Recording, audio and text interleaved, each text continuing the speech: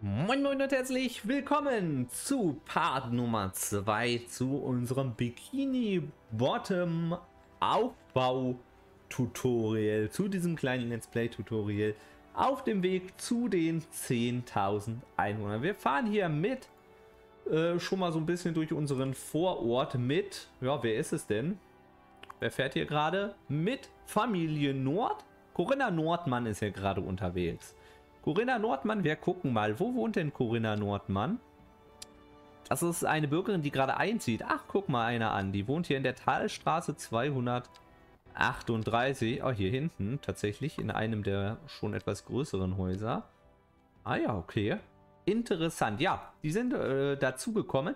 Und ich hatte beim letzten Mal gesagt, wir gucken heute mal so ein bisschen, dass wir die Industrie schon mal darüber ziehen lassen, wo sie dann letztendlich auch hin soll.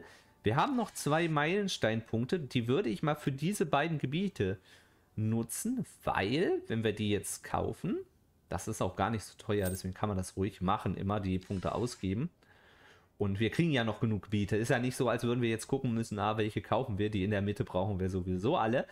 Und jetzt haben wir nämlich diesen Vorteil. Ah, wir bauen hier mal die Straße so rüber. Ah, ähm, ja doch, das geht schon. Dass wir hier das haben, dass wir hier nämlich jetzt von dieser Autobahn schon mal abzweigen können. Wir haben noch keine Autobahn-Auffahrten ähm, oder Abfahrten oder so, deswegen müssen wir uns hier erstmal mit ganz normalen Einbahnstraßen begnügen. Aber das ist, finde ich, nicht hoch. Straße Page Up und Down sozusagen, um hier eben Brücken zu bauen und so. Das Ganze könnt ihr auch im Tutorial zum Straßenbau, was auf meinem Kanal verfügbar ist, auf jeden Fall auch nochmal anschauen wie man die ganzen Straßen so baut und wie man dann zum Beispiel auch Auffahrten und so ganz gut nutzen kann. So, das Ganze ist hier provisorisch. Das ist auch, wie ich finde, gar nicht so unrealistisch, dass man hier, ne, dass die Straßen halt jetzt erstmal provisorisch gebaut werden. Für später äh, werden wir uns hier dann aber nochmal ganz klar umorientieren mit dem Autobahnkreuz und so weiter. Wir werden auch hier diese Straße noch nicht anschließen, weil das dann eine sehr kleine Straße wäre und der gesamte Verkehr vermutlich über diese Straße ins Industriegebiet fahren würde. Möchte ich nicht. Ich möchte, dass die erstmal die Autobahn nutzen, damit wir da gar kein Stauproblem erstmal generieren. So, das Industriegebiet baue ich dann schon immer etwas eckiger und ein bisschen platzsparender. Das heißt, wir gehen von dieser Straße hier mal raus ähm, und bauen hier mit Einbahnstraßen. Das finde ich immer ganz schön und praktisch birgt die Gefahr, dass da weniger Stau ist. So, wir bauen hier erstmal so rüber. Äh, und wenn wir hier das Gebiet dann irgendwann haben, können wir dann hier auch weitermachen. Aber das bedeutet, wir können jetzt hier rein nämlich schon mal schön Industrie bauen. So, dann können die bauen. Und das hier ist dann schon bereit, wieder abgerissen zu werden. So, das brauchen wir nicht mehr. Ich weiß, ist nicht optimal. Aber wir machen es mal. Und das war ja nur ein ganz kleines Industriegebiet. Hier wächst unser neues.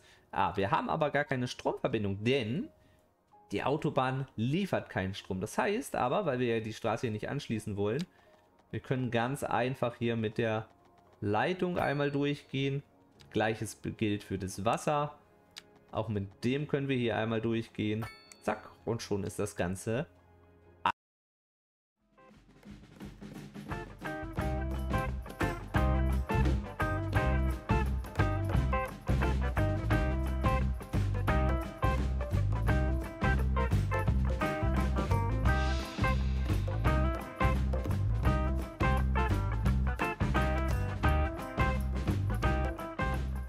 So, jetzt kriegen wir gleich auch schon den nächsten Meilenstein. Es wächst alles so ein bisschen. Wunderschön. Was mir nicht ganz so gut gefällt, ist diese riesige gerade Straße. Da habe ich nicht so ganz, naja, das ist jetzt nicht so mein Geschmack eigentlich, aber wir lassen es jetzt erstmal. Wir können das jetzt nicht alles wieder abreißen. So, wir machen nur noch 240 pro Stunde Minus. Das heißt, es wird besser. Man sieht es auch. Und hier können wir mal gucken, Verkehr ist kritisch, also das zieht uns was runter die Distanz zur Grundschule, weil wir noch keine haben, das machen wir auch gleich noch.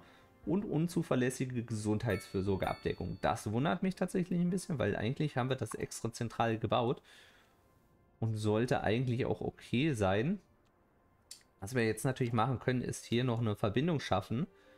Wir wissen, okay, hier ein Gehweg rüber. ist vielleicht gar nicht so schlecht. No, dann kommen die da nämlich einfach besser hin. Und die Abdeckung ist dann schon deutlich besser. Also wir haben eine große Nachfrage nach Gewerbegebieten. Das passt sich hier ganz gut, weil dann können die von hier direkt rüberlaufen. Und da ist unser mittleres Dorf auch schon. Wunderbar. Ja, dann können wir mal nach Schulen gucken eigentlich direkt. Und zwar würde ich erstmal eine Grundschule bauen und eine höhere Schule. Hm, das passt hier natürlich jetzt nicht dran, das ist sehr schade. Wir haben aber schon wieder neue Gebiete, das heißt, das ist sehr gut. So, ich baue das ja gerne so, Schulen dann auch zusammen.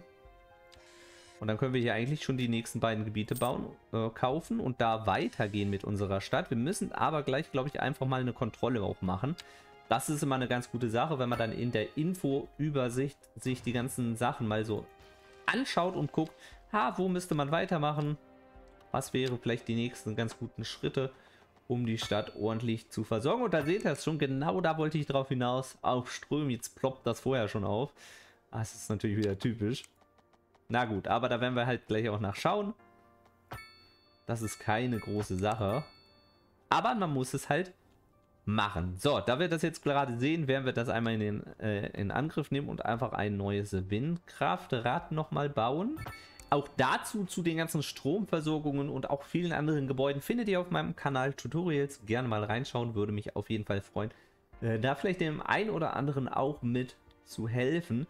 Da muss ich nämlich hier nicht auf jedes kleine Detail nochmal Rücksicht nehmen. So, wie ist das hier in der Schule? Ja, die füllt sich schon und auch diese Schule füllt sich. Alles weitere, was mit Schulen zu tun hat, das hatte ich auch schon beim letzten Mal so ein bisschen gesagt, College, Universität, würde ich erstmal nicht bauen. Dazu können sie auch nach außerhalb fahren. Uns geht es hier ganz gut. Das heißt, die Leute äh, können ruhig den Weg in Kauf nehmen. Das ist für die nicht ganz so schlimm. Und hier ist jetzt die Gehdistanz zur Grundschule zum Beispiel auch schon jetzt ein Pluspunkt geworden. So, die, die, die Nachfrage hier besteht noch. Das heißt, wir bauen da nochmal ein etwas enger besiedeltes Gebiet hin. Und vielleicht dann auch direkt hier gegenüber nochmal ein Gewerbegebiet. Da können doch die, gleich die Schüler auch ein bisschen einkaufen gehen. Unsere Industrie ist auf jeden Fall gewachsen. Das sieht gut aus. Und dann können wir hier tatsächlich mal reinschauen. Erstmal Verkehr war ja ein Minuspunkt. Ja, hier wahrscheinlich. Strom sind wir gerade so an der Grenze. Das heißt, eigentlich können wir da nochmal noch ein viertes Windrad bauen. Ah, da habe ich nicht getroffen. Da ist es tatsächlich nicht angeschlossen. Ach so, ich bin oberirdisch. Ah, komisch. Naja. Und die produzieren jetzt auf jeden Fall erstmal wieder ein bisschen genug Strom. Die Industrie wird viel verbrauchen, also wenn wir die wieder ausbauen, müssen wir mal schauen. Wasser sollte auf Dauer erstmal reichen. Genau, Abwasser auch. Das ist alles super. Genau, so. Dann gucken wir hier in die Gesundheitsfürsorge mal rein. Auch das sieht doch eigentlich alles wunderbar aus. Die sind hier, was haben die für Probleme? Hm, das ist, müssen wir mal schauen, hier die Gesundheit, die nicht optimal ist. Äh, ich denke, das wird sich im Laufe der Zeit, wenn die jetzt dann zufrieden haben werden, wenn wir für die Zufriedenheit sorgen. Ah, da sehen wir, Kriminalität ist sehr hoch. Das sind so die nächsten Steps, die jetzt kommen. Ihr sehen, wir machen jetzt auch ein bisschen Plus, das ist wunderbar. Das heißt, für uns ist auch die Möglichkeit da, uns um Polizei, Feuerwehr und Müllentsorgung und so weiter zu kümmern. Wir kümmern uns darum, auch wenn wir dann ins Minus gehen, aber wir sehen, wir haben einen aktuellen positiven Trend. Das heißt, wir können Geld auch ausgeben. Danach gehe ich immer so ein bisschen, ist positiv, dann kann man ruhig auch so bauen, dass man auch nochmal ins Negative geht, weil durch weitere Wohngebiete würde man das Ganze auf jeden Fall wieder ausgleichen können. Die Feuerwehr würde ich mal hier an die große Straße bauen, einfach aus dem Grund, dass wir hier gleich noch eine Verbindungsstraße haben und dann kommt die eigentlich hier rum schnell hin und darum schnell hin und hier drüben ganz gut hin. Gleiches gilt für die Polizei, die bauen wir direkt mit dazu. Finde ich immer ganz schön, das alles auch an einem Ort zu haben. Dann zentral hier Krankenhaus, Polizei, Feuerwehr, dann findet man das immer ganz gut wieder. Und, oh, hier ist aber gleich was los. Hey, Leute. Na gut. Oh, so. Und jetzt wollen wir uns einmal um Müll kümmern. Die Müllverbrennungsanlage, äh, Mülldeponie. Die wird ihren Platz erstmal hier hinten finden. So, bauen die mal hier hin. Da kann die ruhig erstmal so hin. Hier an die Autobahn, da können wir dann auch dran lang bauen und so. Und dann nutzen wir auch den Platz ganz gut. So, dann bauen wir hier hm, das Industriegebiet noch mal ein bisschen aus. Es will hier nicht reinsnappen, so wirklich. Manchmal, ach so, ich bin hier im falschen Modus. Ah, okay, na gut. So. Dann können wir hier noch mal ein bisschen Industrie zuweisen. Wir können auch, das geht auch, im Industriegebiet ist nämlich auch Nachfrage nach äh, Gewerbe manchmal. Kann man auch da so ein bisschen was reinbauen.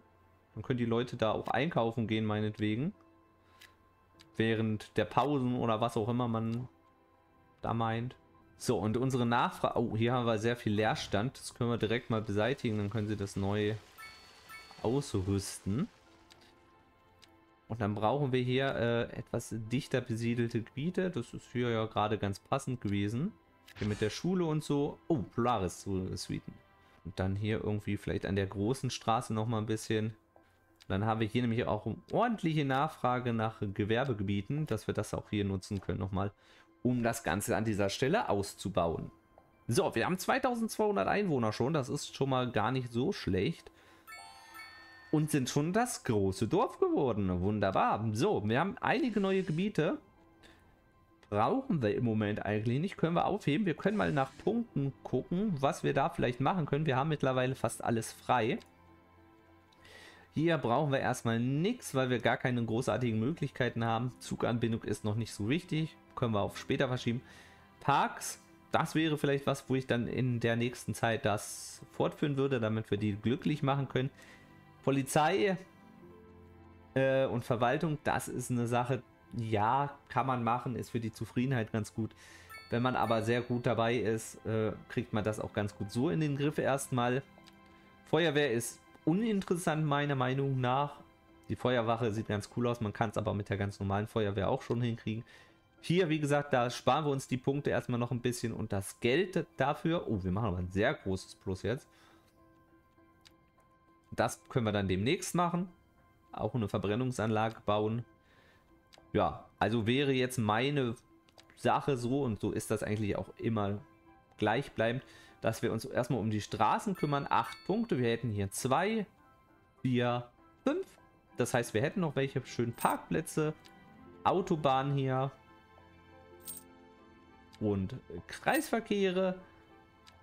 Das sind so die nächsten Punkte, die man hier dann so angehen kann. Das heißt, wir können dann auch schon mal ein paar Parkplätze setzen. Zum Beispiel hier in der Innenstadt wäre das doch eine schöne Möglichkeit. Vielleicht erstmal zack, für den Bereich. Und auch hier bei der Schule. Noch keine großen Parkplätze, erstmal die mittleren hier. So, wir haben hier Nachfrage nach hochbebauten Gebieten tatsächlich jetzt auch schon. Krass, das geht aber ruckzuck hier. Wir haben aber noch gar nicht dafür eigentlich da was ausgebaut. Dass wir sagen würden, okay, das macht jetzt Sinn, da wollen wir auf jeden Fall viel äh, so. Aber wir können hier mal so, das können wir da ruhig mal hinbauen. So, und dann haben wir ja auch unseren ersten Stau, weil der Kreisverkehr wahrscheinlich einfach auch zu klein ist mit der Straße hier und so. Wie gesagt, ich wollte ja hier hinten dann noch eine Verbindungsstraße schaffen. Das können wir eigentlich mal machen. Ich wollte die Straße hier nicht mehr so gerade haben, wie sie ist. Okay, jetzt habe ich sie doch wieder so gerade gebaut, sorry. Oh Gott, Schluck auf. Bauen wir mal so ein bisschen um die Kurve. Und dann bauen wir hier eine Verbindungsstraße. Dass die eben hier nicht alle da durchfahren, sondern dann hier auch geradeaus gehen weiter. Und vielleicht können wir auch den etwas größeren Kreisverkehr nutzen. Der das Ganze etwas besser auffängt. Ah, und dann wollte ich eigentlich hier noch Parks bauen. Hä, hab ich vergessen. So, nee, nicht den ganz... Ah, passt hier nicht, oder? Doch, hier passt das. Zack, da kann ein Park hin. Können wir hier noch ein paar Wohngebiete? Ja, nee. So, die Schule ist noch nicht voll. Ich baue immer ganz gerne hier den Spielplatz dran. Finde ich ganz cool. Hm, Erweiterung und Kinderklinik brauchen wir im Moment einfach noch nicht. Und hier Sportplatz ist mir ein bisschen groß hier an dieser Stelle. Und die haben auch noch nicht sehr viel Platz darin. Also das geht sich schon aus. Bevor wir jetzt Schluss machen, möchte ich noch einmal reinschauen hier. Das wollte ich eigentlich vorhin schon machen. Und zwar haben wir hier die durchschnittliche Zeit bis zum Abschluss in sechs Monate. Und hier sind das zwölf Monate. Das heißt, bis sich unsere Bildung hier mh, mm, entwickelt sozusagen, ent vergehen jetzt erstmal sechs Monate, bis sich hier dann großartig was ändert mit den Ausbildungsstufen und so. Das heißt, da sollte man dann schon so ein bisschen drauf achten, dass das im Rahmen ist, dass man halt gut genug die Grundschule und die ähm, Sekundarschule ausbaut, weil das Problem ist, wenn man irgendwann die voll hat und die Leute können dann nicht mehr zur Schule gehen und man baut es dann erst später, wenn man sie unbedingt dann zu dem Zeitpunkt braucht, dann dauert es sechs oder zwölf Monate, beziehungsweise erstmal Grundschule und dann äh, weiterführende Schule, 18 Monate, bis die Leute den Abschluss hier haben. Und das ist natürlich dann schon ein Problem, weil dann muss man mit der Stadt 18 Monate warten. Deswegen, ja, die ersten Schulen baue ich immer relativ früh zeitnah dann auch ganz gut aus. Wie gesagt, den Rest äh, dann auch bald, aber mit dem lasse ich mir halt einfach noch ein bisschen mehr Zeit. Ein Problem sehe ich gerade, ah, da habe ich nämlich tatsächlich mal nicht aufgepasst. Und zwar hier dran lang habe ich, das ist nämlich eine große Straße, sehe ich gerade, natürlich, also wusste ich. Aber ich habe aus Versehen da die kleinen Wohngebiete dran lang gebaut. Das ist mir gar nicht aufgefallen. Das könnt ihr nicht. Also am Anfang geht das. Aber irgendwann, wenn zu viel Verkehr ist, wollen die Leute an diesen Straßen nicht mehr wohnen in ihren kleinen Häuschen. Und äh, das sollte man eigentlich von Anfang an berücksichtigen. Da bin ich tatsächlich, da habe ich ein bisschen geschlafen tatsächlich. Tja, könnt ihr mal sehen. So. Weil wenn da zu viel los ist, dann mögen die das einfach nicht mehr. So, jetzt geht's aber. Das heißt, wir benutzen das einfach hier äh, als, ja, dass da größere Wohngebiete hinkommen, dass da Gewerbegebiete mit hinkommen. So. Hier, zack, zack, zack. Und dann äh, können sie das ja schon mal weiter bebauen. Und ja, ich würde sagen, Guck mal, ein paar billige Mietwohnungen können wir da auch mit hinstellen. Da passen einfach viele Leute rein. Das ist auch immer okay. Dann machen wir das schon mal voll hier. Zack. Und dann können sie das bebauen mit der Zeit. Und ich würde sagen, das war's für heute. Mit dieser wundervollen Folge City Skylines in unserem 10.000 Einwohner Projekt. 3.000 haben wir schon. Mal gucken, wie schnell es weitergeht. Äh, und ich muss ja sagen, hier, unseren Leuten geht es wirklich sehr, sehr gut. Mal gucken, ob wir beim nächsten Mal dann schon die Nachfrage nach weiterer Industrie vielleicht nochmal haben. Dann würde ich nämlich mich gerne ein bisschen um die Industrie kümmern, dass wir das nochmal ein bisschen ausbauen, dass wir mal gucken, was wir da schon machen können. Ähm, auch selbst Industriegebiete eingrenzen und so. Das wäre der nächste Schritt. Ich denke, wir müssen auch nochmal nach Strom gucken, aber das ist eine Sache, die machen wir dann beim nächsten Mal. Ich wünsche euch jetzt einen wunderschönen Tag. Bis dann, euer Kevin Zuckt. Bye, bye.